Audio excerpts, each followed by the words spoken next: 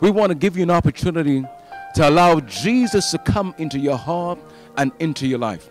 We want to tell you that all the problems of your life can be solved with this one name, just a mention of the name Jesus.